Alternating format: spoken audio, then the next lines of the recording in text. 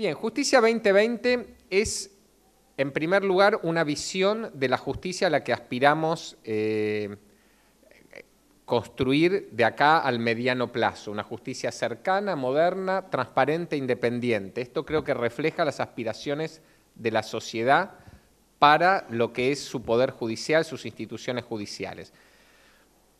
Justicia 2020 es dos cosas, si uno tuviera que, explicarlas, dos cosas bastante distintas, que son las dos, pero que son las dos caras de la misma moneda. Por un lado, es una plataforma virtual donde se difunden los proyectos del ministerio, donde los, funcionarios a cargo de ejecutarlos los presentan, los publican y los discuten. Em, ya la información quedó desactualizada. Tenemos 21 equipos de trabajo en este momento donde, eh, donde está abierto la participación de cualquier persona, es decir, la participación es completamente horizontal y completamente abierta. Basta con inscribirse en la plataforma en línea para poder participar de los equipos de trabajo. Algunas personas lo hacen a título particular y otras lo hacen diciendo yo pertenezco a tal institución. Pero a la hora de participar, de entrar en esta conversación, todos somos una persona, todos somos eh, iguales y horizontales. Del lado del ministerio, el coordinador del equipo de trabajo y el responsable de la iniciativa son los funcionarios que están trabajando ese tema. ¿Qué quiere decir? Que si a alguien le interesa la reforma procesal penal federal, va a entrar a un grupo de trabajo donde la persona que está escribiendo el proyecto, la que dice que sí, que no, que cambie el artículo, que toma o no la, la propuesta es la persona con la que está hablando. ¿Se entiende esto? No es el asistente del ayudante que le va a ir a contar al jefe a ver si mire esta idea que me trajeron, sino la persona que está a cargo. De hecho, el coordinador de ese equipo de trabajo es el subsecretario de Política Criminal, el doctor Martín Casares. Es decir, los funcionarios de alta jerarquía están involucrados en la plataforma. ¿Por qué armamos esta plataforma de participación ciudadana? Eh, hacemos, eh, esta, plataforma, este modo de trabajar, que les aclaro fue muy difícil. Cuando yo senté a los funcionarios del ministerio, a los subsecretarios, a los directores nacionales, a los coordinadores, y dije, bueno, vos estás a cargo de esto, vos de aquello, vas a tener que escribir en tres o cuatro páginas cuál es la política pública y qué problema querés solucionar. Tenés que escribir el plan de trabajo, publicarlo en una plataforma donde se anotaron 400 personas en tu equipo de trabajo que van a opinar sobre ella, los funcionarios se le pararon todos los pelos así, decían, ¿cómo que tengo que hacer esto y explicar? Sí, sí, es, la tónica que le queremos dar a la, política judicial. Y refleja dos valores, eh, mejor dicho, dos iniciativas de nivel internacional. Es decir, esto no es una idea sacada de la nada, sino de la Agenda de Desarrollo 2030 de Naciones Unidas y de los valores del gobierno abierto.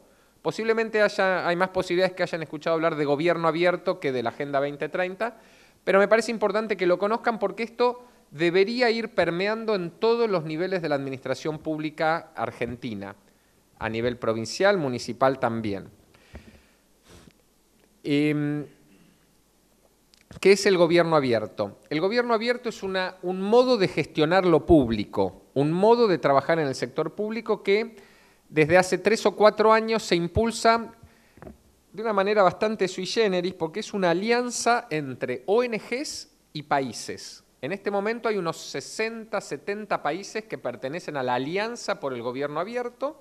En los ejecutivos, eh, los poderes ejecutivos se adhieren a esta alianza que la impulsan un grupo de ONGs eh, grandes a nivel internacional que buscan que mm, el gobierno trabaje primero con una política de transparencia activa. ¿Qué es transparencia activa?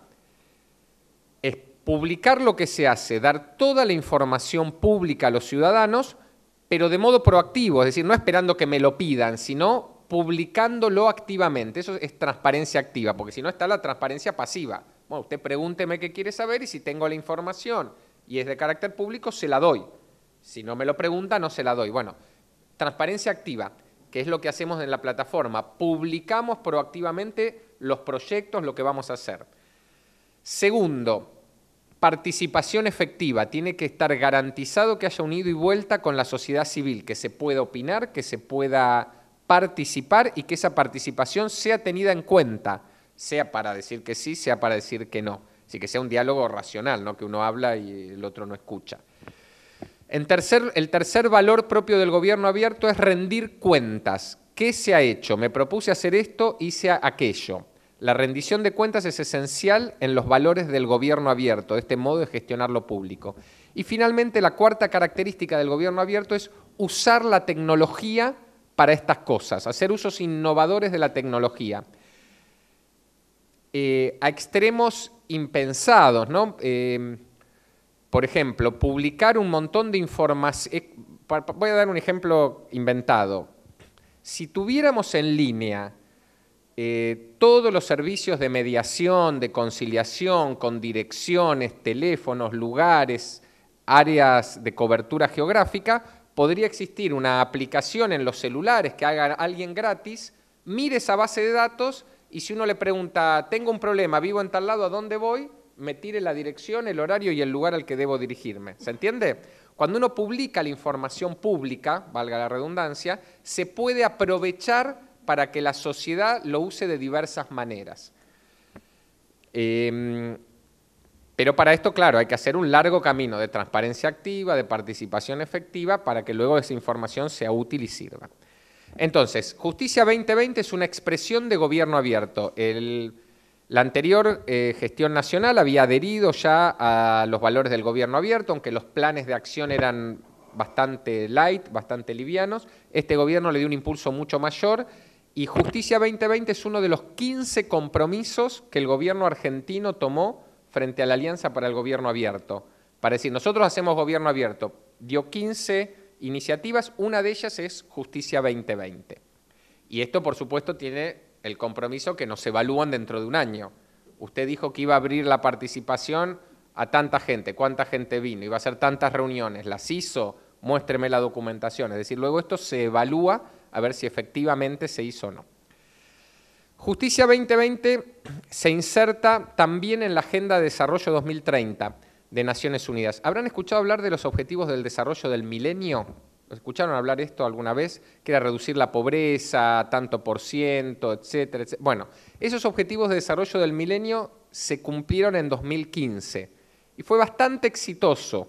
Las Naciones Unidas empujaron eh, varios objetivos que los países se comprometieron a cumplir, sobre todo eh, en torno al desarrollo y a la salida de la pobreza. Al terminar esta agenda de 15 años, que duró del 2000 al 2015, Naciones Unidas propone una nueva agenda a los países que se llama la Agenda de Desarrollo o los Objetivos para el Desarrollo Sostenible. y ahora sí hay cuestiones institucionales. Ustedes tienen en pantalla el objetivo número 16, de esta agenda, que es promover sociedades pacíficas e inclusivas para el desarrollo sostenible, facilitar el acceso a la justicia para todos y crear instituciones eficaces, responsables e inclusivas a todos los niveles. Bueno, desde Justicia 2020 hemos tomado este objetivo y eh, Naciones Unidas cuando hace estas cosas después pone metas intermedias, indicadores parciales, con metas cuantitativas que se van midiendo a ver si uno se acerca o no a lograr este objetivo. Bueno, este es el marco en el cual hacemos Justicia 2020. Por supuesto es un programa de gobierno en el cual eh, se despliega en cuatro años. Hay siete ejes y ahora vamos a la segunda cara de Justicia 2020. Recién les hablaba de la primera, ¿no? lo que es transparencia, participación. Ahora le digo, ¿sobre qué hablamos? ¿Qué es lo que publicamos? ¿Sobre qué discutimos? ¿De qué se trata? Bueno, siete ejes, institucional, civil, penal, acceso a la justicia, derechos humanos, gestión, justicia y comunidad, y aproximadamente más de 100 iniciativas que se despliegan en los cuatro años de gestión del gobierno. Em, porque obviamente no se puede hacer todo junto igual con la ansiedad que tenemos, ya 70 las estamos trabajando de las 100, y además es una agenda anotada. Parte del diálogo es decir, che, se están olvidando de este tema, hay que incluir este tema, es necesario hablar de esto, o esto no es tan urgente, posterguémoslo, anticipemos tal cosa. Así que entre la ansiedad del, equipo y las demandas de la sociedad, ya estamos trabajando en 70 de las 100 iniciativas. Vamos a recorrer em, someramente em, los ejes de trabajo y, los, perdón, los equipos de trabajo de cada eje, aunque en realidad esto lo voy a hacer mostrándoles directamente la plataforma. Em, si se fijan, sí, se ve bien, en Justicia 2020 Gobar está gran parte de lo que les voy a decir, ¿no? Está el tema de gobierno abierto que recién les comentaba, explicado por qué Justicia 2020 es una iniciativa de gobierno abierto, eh, descripto cómo pretendemos cumplir los valores del gobierno abierto, cómo se inserta en la Agenda 2030 de Naciones Unidas. Y acá tenemos los ejes, vamos a ir recorriéndolos y viendo qué iniciativas, qué políticas públicas se quieren llevar adelante desde esta gestión ministerial. En el eje institucional tenemos tres equipos de trabajo. El primero es una, está centrado en adecuaciones normativas, en cambios legislativos que hay que hacer a nivel nacional para fortalecer el Poder Judicial. Estas leyes eh, ya están o en presidencia o en, el Congreso. Eh, las menciono, la discusión de la transferencia de la justicia ordinaria de la Ciudad de Buenos Aires, justamente al gobierno de la Ciudad de Buenos Aires, que deje de pertenecer al Poder Judicial de la Nación. Derogar las cámaras federales de casación fue una modificación normativa que se hizo el año pasado que no, que no se puso nunca en marcha, es eliminar las cámaras de casación en lo civil, en lo comercial, en lo contencioso administrativo, que no tenían sentido en nuestro sistema reformar el Consejo de la Magistratura de la Nación y solucionar el problema de las subrogancias, la alta tasa de jueces subrogantes que hay en el Poder Judicial Federal. Un segundo equipo concentra varias iniciativas vinculadas a la transparencia y la lucha contra la corrupción. Eh, y acá las iniciativas son ética en la función pública, lucha contra la corrupción y el programa Justicia Abierta, programa de transparencia, del que voy a hablar más adelante, porque busca, y los va, los va a afectar a ustedes, busca generar un conjunto de datos judiciales abiertos, disponibles para toda la sociedad, lo cual significa que tenemos que agregar todos los datos de la justicia argentina. Digamos, si hoy alguien viene de otro país y nos dice, ¿cuánto gasta la justicia argentina? Tenemos que empezar a hacer cuentas con los dedos, decir, este dato es del 2012, este es del 2013, esto es presupuesto ejecutado, más, más o menos tanto. Eso es inaceptable a nivel internacional. ¿Cuántas causas entran? Y la Junta tiene muchos poderes judiciales, pero falta la, provincia de Buenos Aires, que es el otro 40%, más el Poder Judicial de la Nación. Eh, no tenemos hoy esta información agregada. Después vamos a hablar más en detalle de este tema. Y el tercer programa, que también el tercer equipo de trabajo, que seguramente va a ser de su interés, lo vamos a conversar después, es el de apoyo a la justicia provincial porque el Ministerio de Justicia se propone ser un Ministerio de Justicia de todo el país y no de la Ciudad de Buenos Aires o del Poder Judicial de la Nación nada más. Esto es el eje, y vamos a hablar también en la segunda parte porque les va a interesar. En el eje penal, ¿qué es lo que nos proponemos trabajar en estos cuatro años? Por un lado, fortalecer la investigación criminal a través de un equipo de jueces contra el crimen organizado, creando un cuerpo de investigaciones judiciales federales, eh, el proyecto de ley de juicio en ausencia, eh, fortalecer la investigación criminal propiamente, fortalecer la justicia federal con asiento en las provincias, de esto también vamos a hablar, es la creación de más de 100 juzgados penales federales en todo el país, tiene que ver con la reforma procesal penal. No se puede hacer la reforma procesal penal ir a un sistema acusatorio federal sin que em, sin dividir los juzgados federales multifuero que tienen todas las secretarías, autonomizar, diríamos, la Secretaría Penal y ponerle un juez. No se trata de crear 100 juzgados, sino 100 puestos de jueces que con las secretarías penales ya existentes se hagan cargo de la parte penal. Y el segundo equipo de trabajo tiene justamente como gran tarea la reforma del Código Procesal Penal de la Nación, la modificación de las leyes orgánicas del Ministerio Público Federal, de la Defensa y del Poder Judicial, trabajar el detalle de la transferencia del fuero penal a la Ciudad de Buenos Aires y más adelante la reforma del Código Penal y la implementación de juicios por jurado que todavía no estamos trabajando. Bien, y el tercer equipo se encarga de los temas de ejecución penal, sistema penitenciario y cárceles. ¿Por qué armamos equipos? Porque fíjense que hay cuestiones que por afinidad se pueden juntar, tratar todas juntas y, y los interesados son los mismos. ¿Se entiende? Hay gente que está interesada en los temas institucionales, gente que está interesada en la reforma penal, gente que trabaja en las cuestiones penitenciarias. Entonces, cada uno se anota, participa en el equipo de trabajo de su interés. Vamos al eje civil. En materia civil, el Ministerio de Justicia tiene también tres equipos de trabajo por un lado, un equipo centrado en la transferencia de los fueros no penales, digamos, a la, de la justicia nacional a la ciudad. Está laboral, fuero del consumidor y fuero de familia. Más adelante vamos a empezar a trabajar con civil y con comercial. Después hay una estrategia para agilizar el servicio de justicia, impulsando cuatro o cinco ideas como el proceso monitorio, la litigación electrónica, el arbitraje, etcétera y un tercer equipo vinculado a cambios procesales para mejorar el servicio de justicia en materia civil. Acá una cosa interesante es que eh, el ministro Garabano propuso y los ministros de justicia de todas las provincias aceptaron crear una comisión para trabajar en homogeneizar los ordenamientos procesales civiles. Es decir, que las reformas procesales civiles que se hagan tiendan a ser homogéneas más allá de alguna pequeña diferencia que puede tener alguna razón de ser por la peculiaridad geográfica o demográfica de la provincia, y ya se está trabajando, en concreto existe una comisión para reformar el Código Procesal Civil y Comercial de la Nación y de la provincia de Buenos Aires en conjunto, para evitar esto de que cruzando la General Paz tenemos un código procesal y en La Plata otro, como si fuera tanta la diferencia, lo único que hacemos es confundir a la gente y trabajar de un modo más complejo.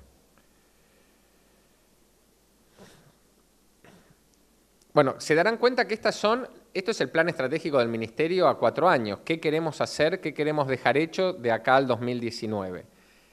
En el eje de acceso a la justicia tenemos cuatro grupos. Eh, esto me olvidé de, explicar una cosa importante, pido disculpas. Las iniciativas que les muestro son de tres clases, si se dan cuenta. Cosas que el Ministerio de Justicia hace por sí. Me, di cuenta por esto, ¿no? Porque, por ejemplo, los centros de acceso a la justicia, el Ministerio de Justicia los instala por sí, contrata a la gente, los despliega territorialmente. Es algo que lo hacemos directamente y somos responsables de hacerlo o el fortalecer la mediación comunitaria con abordaje territorial, etc. Luego hay una segunda clase de proyectos donde dependemos del Congreso. No podemos reformar el Código Procesal Penal o la ley del Ministerio Público si el Congreso no sanciona una ley. Ahí el componente normativo legislativo es muy importante y estamos trabajando con los legisladores para, bueno, explicarles, convencerlos, consensuar y que se sancionen estas leyes. Y el tercer tipo de iniciativas son tal vez las que más les, va a interesar a ustedes, son las que se hacen en conjunto, en cooperación con otras instituciones, en la cual cada institución aporta una parte y se trabaja juntos y se hace en conjunto. Em, como por ejemplo les mencionaba la, em, decíamos recién, a ver, eh, la reforma procesal civil que requiere estar de acuerdo entre los ministerios. Bueno, ahí además después hay que, hay que reclamar el concurso de las legislaturas provinciales. Es decir, esto es complejo de gestionar, no, son cosas que el Ministerio diga hagámoslo y ya lo hacemos, pero creemos que a través del diálogo y el trabajo en conjunto se puede eh, avanzar entre todos. En el eje de derechos humanos, de nuevo acá igual que en acceso a la justicia, tenemos un conjunto de iniciativas y planes que el Ministerio ejecuta por sí mismo. Eh, más allá que hay algunos proyectos de ley, como el de proceso de consulta previa y consentimiento informado de las comunidades, o el programa Argentina Celebra la Diversidad Cultural que se coordina con los estados provinciales y municipales. Pero bueno, implementar el mecanismo internacional contra la tortura, la promoción de derechos LGTBIQ o el Plan Nacional de Derechos Humanos son proyectos que el Ministerio de Justicia ejecuta directamente a través de la eh, Subsecretaría de Derechos Humanos. Bueno, ya vamos terminando esta primera parte. Les pido disculpas si es aburrido, pero bueno, es el catálogo de iniciativas. Esto es el plan estratégico que el Ministerio quiere ejecutar. En, el campo de la gestión tenemos dos áreas. Una que es modernizar la gestión registral que está a cargo del Ministerio propiamente, que es, eh, son los registros nacionales de la propiedad automotor. Se está trabajando mucho para que ya de hecho hay algunos trámites que se pueden iniciar en línea y uno los va a retirar al registro automotor como ejemplo, eh, la Inspección General de Justicia, etcétera. Más allá que la, la IGJ o el registro de la propiedad inmueble de la capital se van a transferir a la ciudad, se está trabajando en facilitar el acceso, poner en línea las bases de datos que son públicas y facilitar la gestión registral. Eso es algo que el Ministerio hace por sí mismo. Pero en modernizar la oficina judicial es algo que hacemos en la medida que tenemos apoyo o interés de parte de, las, eh, de los poderes judiciales de la nación y provinciales. Se está trabajando mucho con impulsar la calidad en oficinas judiciales y tenemos un programa en el que, del que yo también me ocupo, además de 2020, que es promover la oralidad en los sistemas civiles eh, sin reformas legislativas. Eh, hemos descubierto, vieron, habrán escuchado alguna vez la frase, cuando uno cambia la ley no cambian las prácticas, no alcanza con cambiar las leyes, ¿lo han escuchado? Bueno, nos hemos dado cuenta que esto funciona también a la inversa. Y bueno, cambiemos las prácticas, después vemos la ley.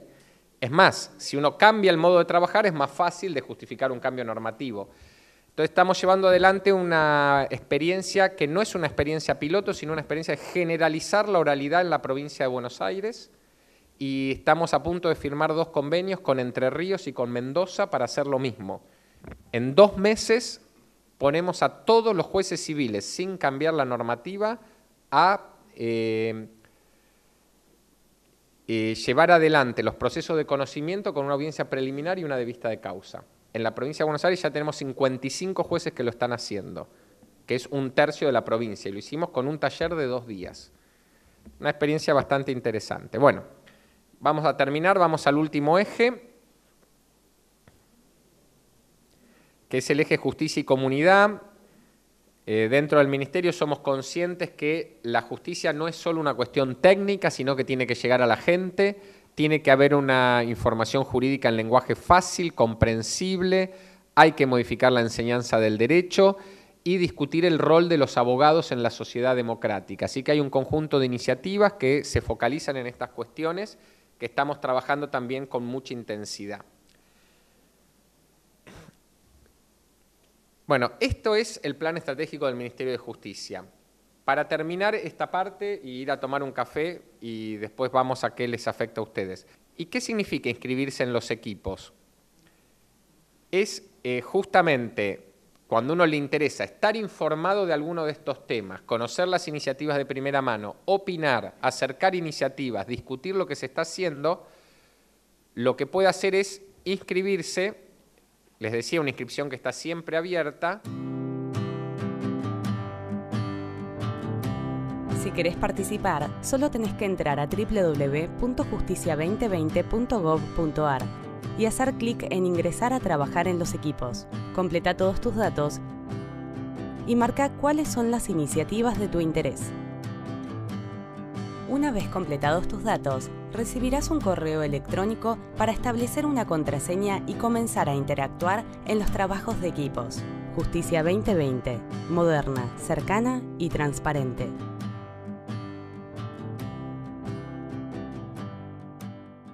Como verán, es absolutamente simple inscribirse, desde ya que si algunos de estos temas es de su interés, tanto estar informado de primera mano, es decir, ¿Dónde se publica por primera vez el proyecto de ley tal o cual? Acá.